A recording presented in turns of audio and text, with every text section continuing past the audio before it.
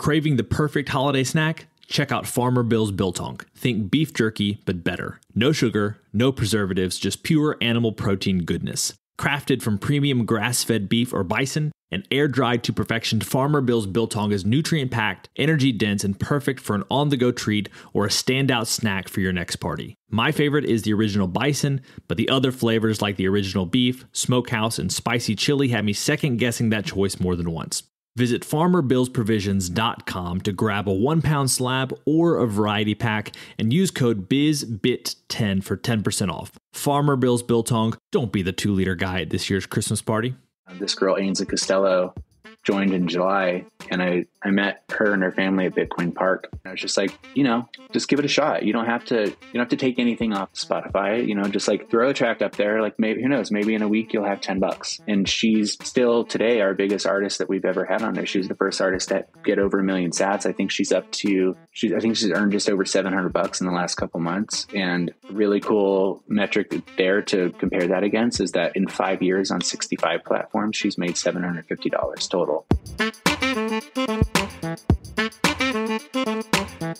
Welcome to the Business Bitcoinization Show, the show dedicated to helping you enrich your life and grow your business with Bitcoin, the hardest money on planet Earth. I'm your host, Josh Friedeman, and our guest today is Sam Means, who's the co founder of Wavlake, which is a value for value app that helps listeners discover new artists and directly support their favorite artists with micropayments of Bitcoin. The only catch is that these artists need to put their music on Wavlake. So if you have an artist you would love to directly support, you can let them know about Wavlake if it seems like a good fit after listening to today's episode. Now, I want to give you a quick update about this podcast. I've recently started live streaming shows on YouTube, Twitter, and LinkedIn. They are just going to be live streamed as I record the interviews and then later released on the podcast. So if you're interested in catching episodes before they're released on the podcast, feel free to subscribe on YouTube or just follow me on Twitter and LinkedIn, and you'll likely be able to see at least some of the episodes as they're recorded in real time. Thanks to those who have been supporting the show on Fountain in the last week. Those who have been streaming sats as they listen include a few anonymous people, including users 765 30774, 145 and 738 You know who you are, even though we don't. Thank you also to Farscapian and Joe W24. Also, Piez and Hashing to Heating sent boosts along with messages. Piez said, the signal strong, this is the way. And this is in reference to the Anchor Watch episode from last week. Also, hashing to heating about the same episode said, keep on keeping on and keep up the good stuff in two separate boosts. Thanks again to all who have been supporting the show on Fountain. If you want to support the show, listen on the Fountain app. You can either stream sats as you listen or send a boost. Now, this week's Bitcoin Meetup Spotlight is the Central PA Bitcoiners. The Central PA Bitcoiners Meetup gets together about once a month in the Harrisburg region of Pennsylvania and maintains a very active Telegram channel for Bitcoiners interested in self sovereignty and homesteading. Their most recent event was a screening of the Bitcoin focused movie Stranded at the Simpson Library in Mechanicsburg. If you want to find out more about the Central PA Bitcoiners, you can find them on Meetup or on Twitter at CPA Bitcoiner. Those links are down in the show notes below, along with a link to the Oshi app, which you can use to find a Bitcoin meetup near you. Now, we're going to get to our interview with Sam right after this. Business owners, unlock the benefits Bitcoin has to offer your business with the Bitcoin for Business Quick Start Guide. This 27 page guide highlights the six ways you can grow your business with Bitcoin. Check it out in the show notes. Sam, welcome to the podcast. Thanks for having me. So, I like to start off every single interview with a few questions that help us to get to know you a little bit better and give us some insight for our own lives. You ready for these? I'm ready. When and how did you first learn about Bitcoin? Uh, I learned about it through a friend of mine, I'd say 2013 or so. He was living in New York and and started getting into it. I think probably it was like a connection to like probably the gold stuff that was happening around there. It was like post 2008. A lot of people were looking for safe havens for you know money, and uh, real estate was kind of shot, and everything was weird. So a lot of people were going towards gold. Max Keiser was really pretty vocal around then. And um, I think through that, a friend of mine just sort of discovered Bitcoin, and I'd heard about it a little bit, but uh, you know, by around 2013 or so, my friend um, ended up having like I think it was the second, the first or the second Bitcoin ATM in New York, um, hmm. and he just was like on fire about it, talking about it, and trying to get everybody on board with it. Um, and I didn't I didn't get on board with it then, but uh, I, I, run an e-commerce store. I work with I work with musicians, and about a year later, uh, the platform that I use, Shopify, started. They enabled it through like BitPay or whatever it was at the time, and I was just like, whatever, I'll just turn it on and see how it goes, and then kind of set it and forgot about it until probably 2017 yeah. um, when everybody started anybody that was paying attention started paying more attention i guess yeah. because that's when everything started getting kind of silly and uh, that's the, the second huge wave of altcoins came in and all that stuff and the rise to 20 grand and, and everything that happened in that cycle and the, the block size wars and all that stuff. So I started getting really involved um, then, but just sort of on like a, a cheerleader level. I didn't really know what to do or just like, this is cool. I, I think this is the future, but I just also have no idea how it works. So I'm just going to dive a little bit deeper into the fundamentals of everything. So I did that for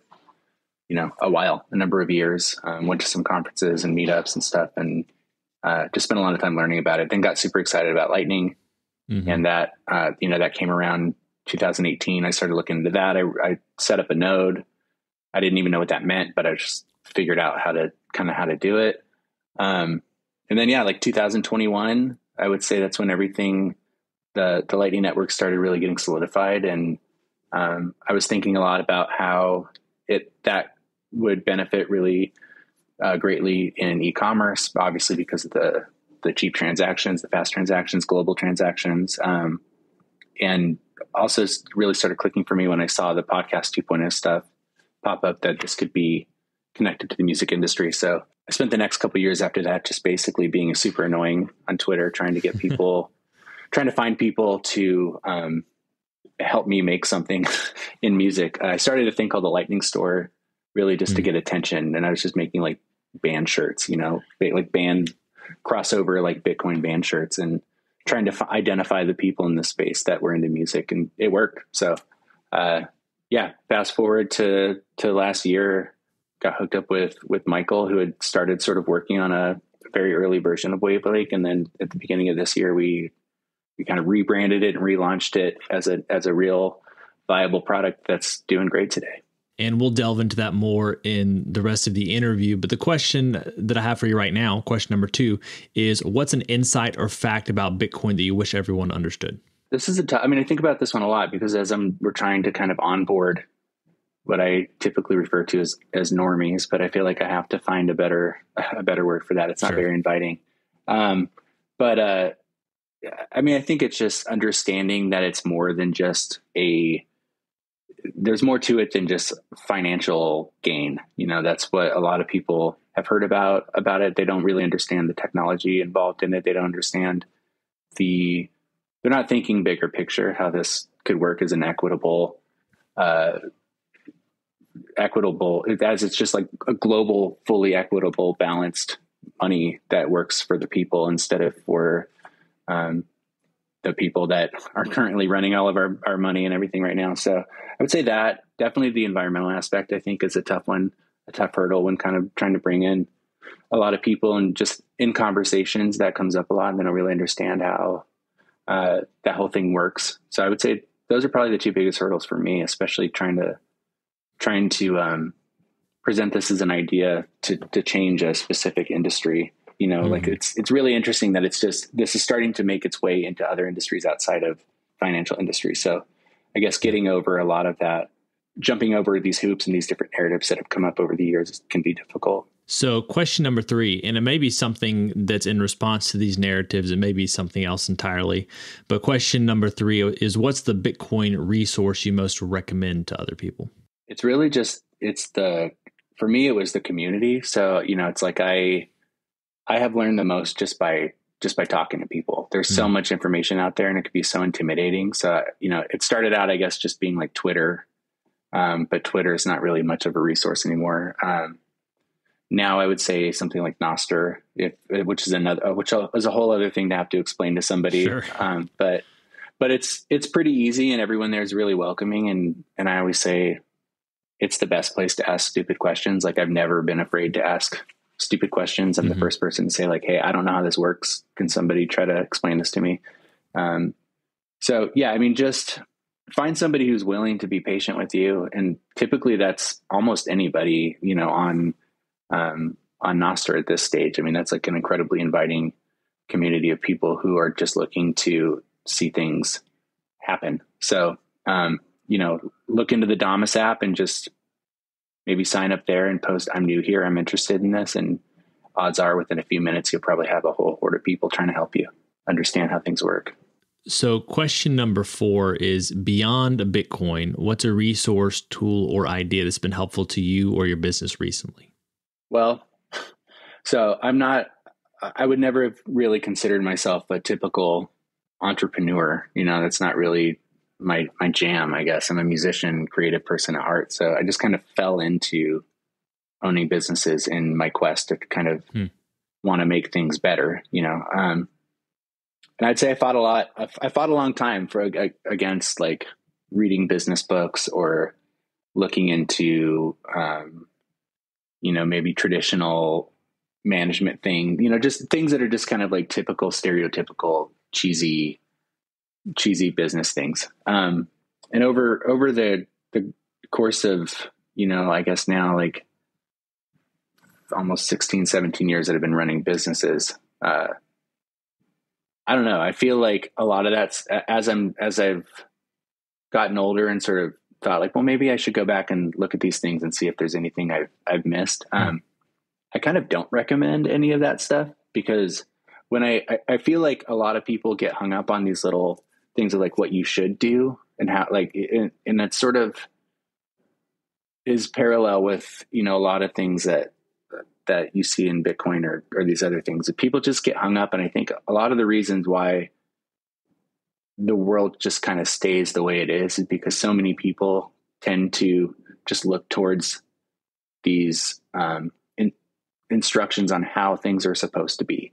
And I'm realizing, I've realized now as, as I'm getting older and doing this, it's like, it's actually been very fun to be creative and learn and mess up and do all these things.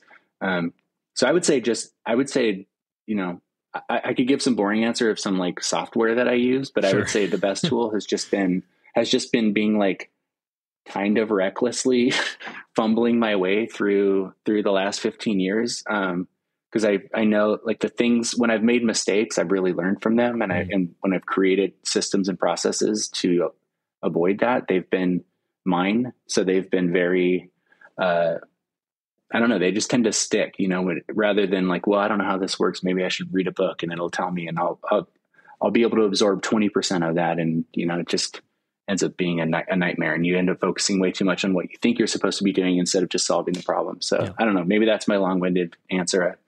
I don't know if that made any sense. Yeah, no, actually, I think it's super valuable. And just staying open to opportunities, moving forward, figuring things out as you go, and recognizing that you're not going to necessarily find the answer in a book. And if you do, it doesn't matter if you're not putting stuff into action. So, like following someone's um, blueprint probably won't be exactly what you need for your business. And so, there's probably things you're going to pick up yeah, along the way. But yeah, everything's so different. There's so many variables, you know, with everything. It's it's so tough to try to conform to a particular idea when you have so many different things happening firing at you from all angles every single day as a business owner. Now we have our final, what we call our arbitrary but insightful question, and it's this: As a general life principle, is it better to ask why or why not? Why not? What you're thinking there? better to ask why or why not. Yeah. Um, I guess it just goes back to the, like the rebellious thing, you know, like I was, I actually, I was, I was, here's a good example. I was five minutes late to this, to this podcast. Yeah. I, uh, I bought this old building in downtown Phoenix. It's like, a, it's almost hundred years old. And, um, I'm working with the city to try to restore some of the, the cool elements that are, that we know are there, like unearth some stuff. And there's a dude downstairs, um, who's a professional and has been soda blasting brick buildings probably his entire life. And and we he was doing that. I started to see some of this sign that he had told me wasn't there. I started to actually be able to see it hmm. underneath where he was where he was working, and I had to stop him. And I was like, "Hey, um, you told me this wasn't here, but here it is." And he's like, "Well, I can't do this." And instead of saying why, I said, "Why not?" like there has to be some way. It's like if you're, you know, you're going to have to explain to me why you can't do this, um, because when you told me what I what, basically like most people when you're working in any kind of business exchange are going to try to be leading you hmm. toward the thing that they want to do. Yeah. Very infrequently are they leading you towards the thing that you actually want hmm. because most people are just either are lazy or scared or they don't know what most people just don't even know what they're doing half the time anyway. And so they want to guide the they want to guide things to be down, you know, to go down their comfort zone. Um, so who knows? I mean, this guy might be right. Maybe he's right. Maybe there is no way to save this sign, but maybe he also just wants to get done today. So he's like, you can't do it. And I'm gonna. So I'm just gonna keep going. I, this is. I only have this this uh, lift for one day, and so I'm just want to get it done. And that that was my agenda for the day. Yeah. But maybe he's wrong, and maybe maybe that sign that was just almost removed and disappeared from history will get saved because I asked him why not. You know, and, and now he's stopping. I was like, just stop. I have to go do a podcast I'll be back. Mm. Don't do anything else. You're leaving us with a cliffhanger here. Uh, I appreciate you uh, coming to yeah, the part, interview. Part two will will show the restoration of the sign.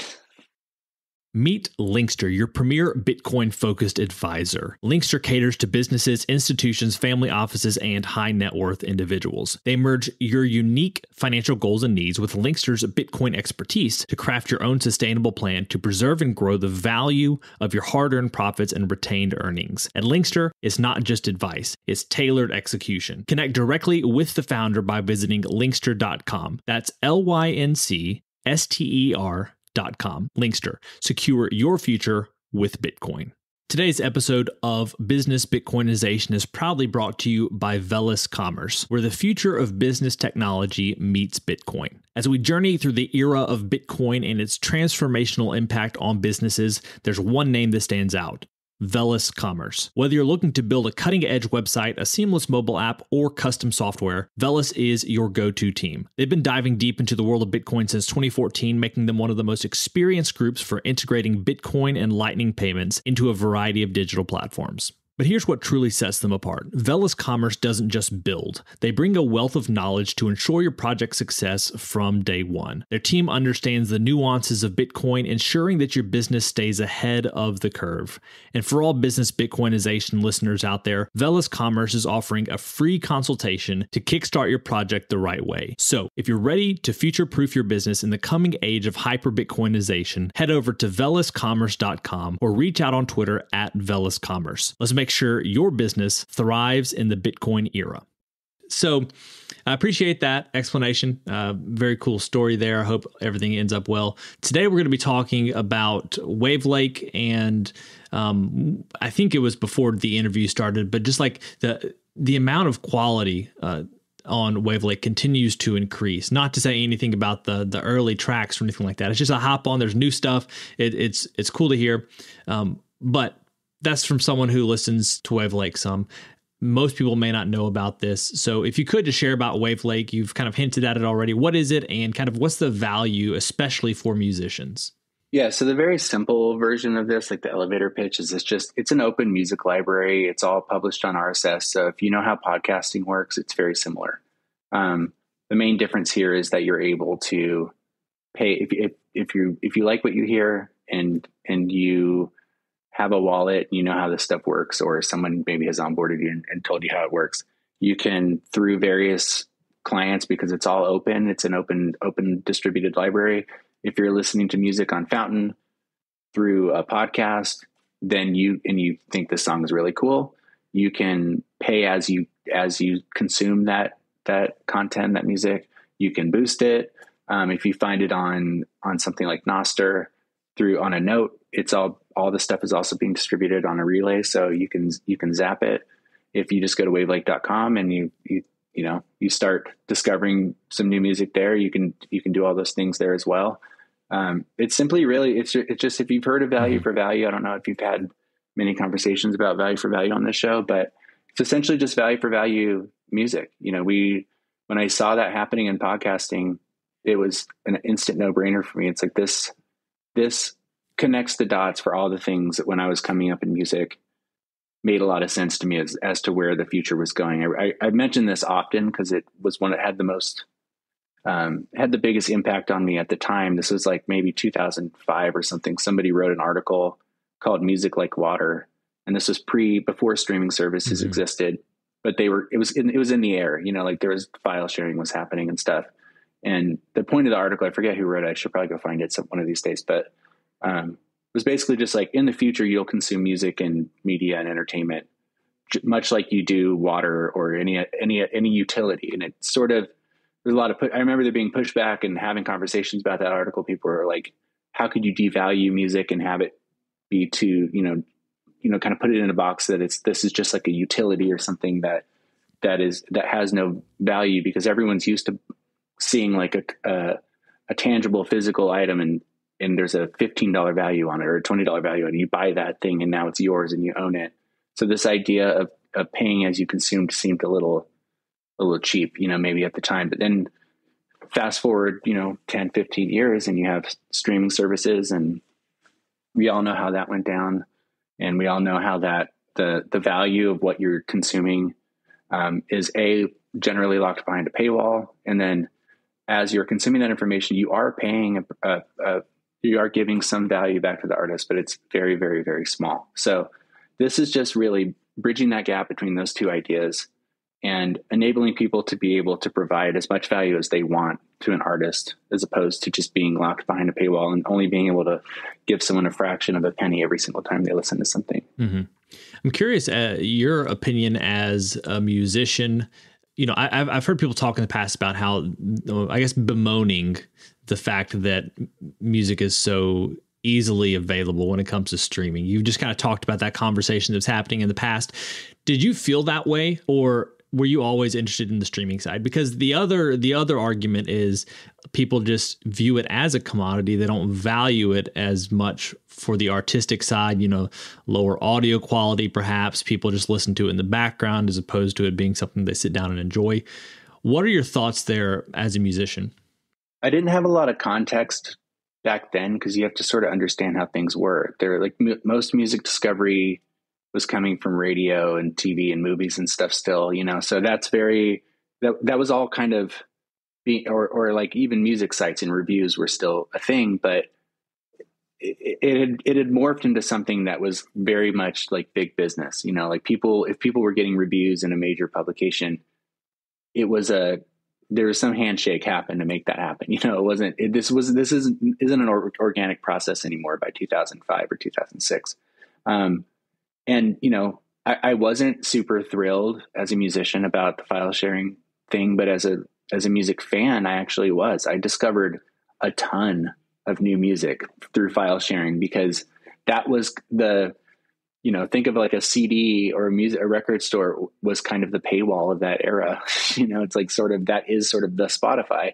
And even at that time, like CDs, CDs by that point were, I don't know, 17, 18, 19 bucks or something. Like they started off really expensive and then they got cheap. And then as the music industry started to lose grasp of the financial elements of, the, of their business because of file sharing, they started cranking those prices back up again and it just wasn't economical.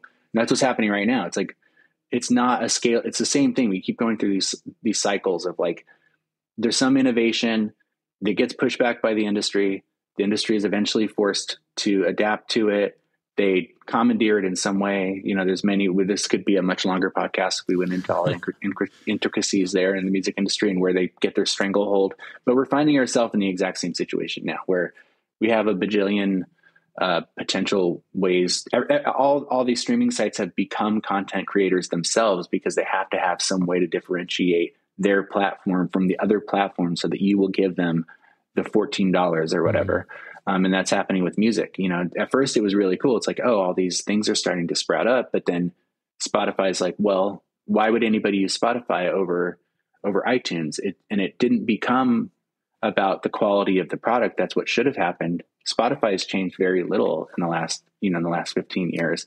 Um, what it became about was the content and what's there, what they're able to um, to lock into their things. That's why they're focusing on podcasts and audiobooks and exclusive things. You know, where it's like you would use podcast, you'd use Spotify because Spotify has this specific thing, or you would use Apple Music because you can bundle it with all of your other Apple services, you know, in one in one swoop. And the more that stuff sort of gets bundled and and switched around, obviously the person who ends up getting screwed the most is the people who are providing all the mm-hmm. content for those for those platforms. So um, I'm just sick of that. You know, it's like it has to stop at some point in time. Um, what's going to happen here is we hope that you know we're building Wavlake. It's a it's basically just a distribution platform.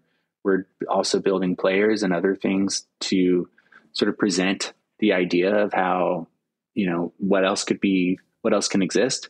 Um, like we're building an iOS player right now. It's all open source, and we're hoping there's ten versions mm. of this because we don't care. You know, we want to see people actually curate music. Like I, I hope that there's a player that's just playing like you know indie rock and they're curating a very specific community of like hey if you really like this kind of music you really like the taste of this community you're going to use this app. If you just kind of like everything and you just want to want a radio maybe you use wavlake you know? That maybe that's what happens down the road but um, i think just incentivizing uh, music curation music discovery development um, progress getting out of this this idea that like everything has to be locked behind a paywall um, think it's super important moving forward in the future because none of this stuff is sustainable. We all yeah, know that. Yeah.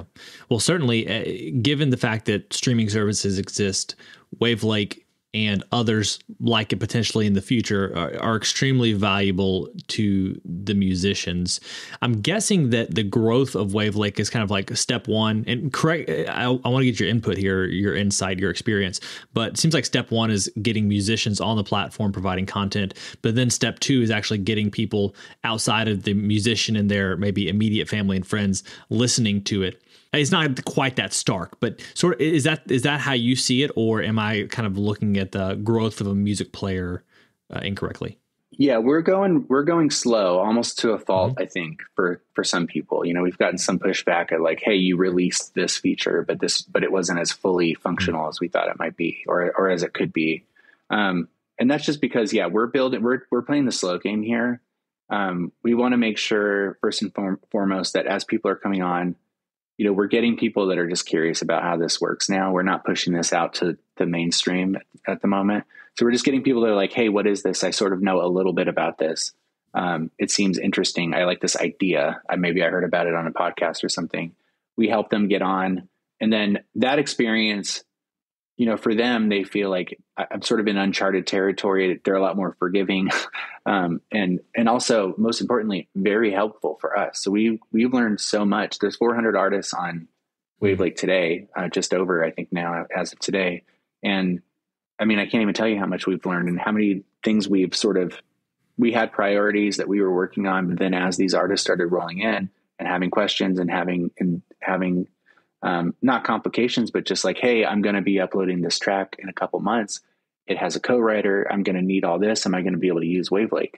And then we're being able to take that feedback on that question and say, yes, actually, I think we could provide that for you. So we're sort of building features in real time for the audience that exists now. Once we have that really super strong fundamental, you know, like core base, um, then we'll start really pushing, you know, hopefully next year, maybe, maybe it takes two years. I don't know, but we, we don't really want to push out until it's really easy to get people on, on board artists and on board their fans. And then also off board them because a lot of people might be interested in the idea and they like the exchange, but they want to pay their rent and maybe they can't pay their rent with sats right now. So they're going to want to have, they're going to have to have a really easy offboarding, a way to offboard that cash too, you know, so into cash. So, um, yeah, there's a lot of stuff to think about, but yeah, we're just building really slowly and, and wanting to make sure we're taking all that stuff into consideration, not try to rush it. So I mentioned to you before we started recording as well that I have a brother-in-law with a handful of albums. He's not a Bitcoiner, um, definitely not opposed to it, um, but it's one of those things that for someone like that, if they buy into it and they already have a few albums, it seems like that would be easy to kind of get onto the platform. I'm assuming that's the case, but maybe first of all, two questions, I guess. First of all, if there's a musician listening to this who has music they've already created, is that an easy way to hop on the platform? Like, is that a pretty easy process? Second of all, what have you been doing or have you been approaching courting musicians to join? Yeah, so no, we, we really haven't. It's it's the someone like your brother in law is is perfect for Wavlake right now. It's like the the ideal user for Wavlake at the moment is somebody who's just kind of getting started. Um, you know, in the early days, we had a lot of a lot of bedroom projects like, oh, I just make beats or I just do this on the on the side and I just want to try it out and see if I get some sats. We've had some stuff where it's like, oh, I used to make music 10 years ago. I'm going to upload all this stuff from from you know my catalog from when I was a teenager or whatever.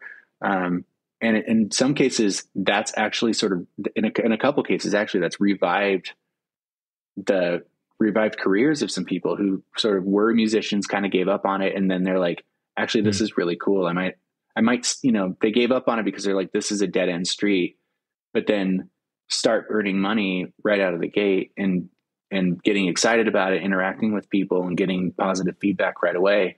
Because um, that's the other really important element of it is the the connection with the listener, and um, and yeah. So I mean, you know those types of people and then moving on to what, who i think is the ideal candidate today for somebody who would want to try it now is like someone who is either just getting started or or has just gotten started in the last couple of years and is very aware of how much money they do or do not make on traditional platforms. And then hopefully being pleasantly surprised after a couple months. We have a really good example of that. Uh, this girl Ainsley Costello joined in July and I, I met her and her family at Bitcoin Park at a at a thing that was happening there, and I was just like, you know, just give it a shot. You don't have to you don't have to take anything off of, off of Spotify. You know, just like throw a track up there. Like maybe who knows? Maybe in a week you'll have ten bucks. You know, and she's she's um, still today our biggest artist that we've ever had on there. She's the first artist that get over a million sats. I think she's up to she's I think she's earned just over seven hundred bucks in the last couple months, and really cool metric there to compare that against is that in five years on 65 platforms, she's made $750 total with her entire catalog. So with four songs, she's almost made the same amount in the last two or three months. So um, the potential is really there. And I think that's the cool part about it is the people, especially the people that are used to making like three or four bucks a month from streaming platforms. And then they come over and they're making 10, 20, 30, 100 bucks. You know, it's like this, there's something here. And those people get really excited and those people then go tell their peers and their friends and their family who maybe don't know much about it. And that's the best way to get them in the door is like they they have someone who they trust who is sort of onboarding them through us instead of a company being like hey come over here and try this crazy idea. You know and that's that's just for like personal business business experience. That's how i ran my my other business where i work with with bands is i never did any marketing or cold outreach at all. It was like especially for the first 10 years, it was just all that stuff was coming in from referrals from other bands or people that had worked with me in the past. And that's built the strongest foundation for us. So yeah, in, instead of just trying to, there's a lot, I mean, there's some like, you know, shitcoin music services out there and with a lot of VC money and fancy, it's very, they're very flashy and they're convincing people that things are going to be different. But at the end of the day, you get there and you realize it's just like everything else.